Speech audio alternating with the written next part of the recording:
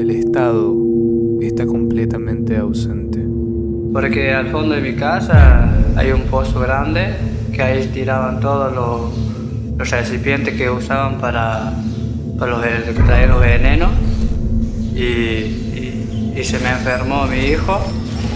Eh, los médicos lo único que te dicen que es una comida que te hizo mal o es el brote de la planta, es una alergia y nada más. No te hacen un análisis, no te hacen nada.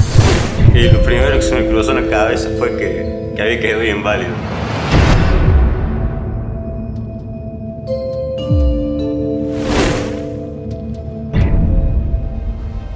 Hace 70 días que plantamos esta bandera lucha en Sebastián Elcano, una carpa contra los agrotóxicos para que paren de fumigar.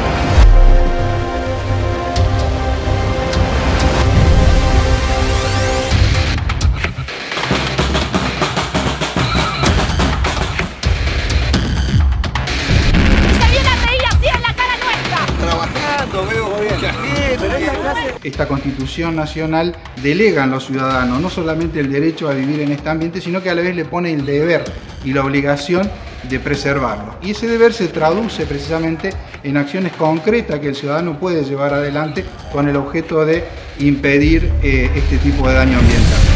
Está documentado, nosotros de la Universidad de Córdoba lo hemos hecho, lo han hecho otros grupos de investigadores de la Universidad de Rosario, de la Universidad de Buenos Aires. Hay viento, eh,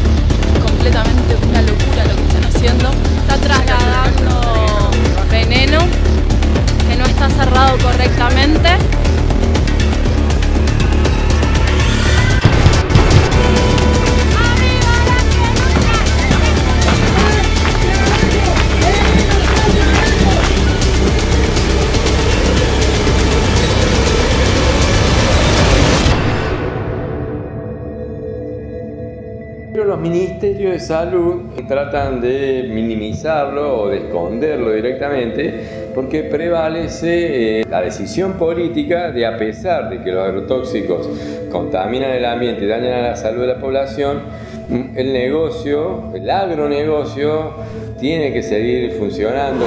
No es un juego esto, es la vida de uno que está, eh, cada vez está peor.